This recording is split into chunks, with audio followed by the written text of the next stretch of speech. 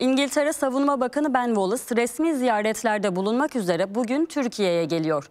Milli Savunma Bakanı Hulusi Akar'ın İngiliz mevkidaşıyla görüşmesinde Ukrayna'daki gelişmeler gündemde olacak.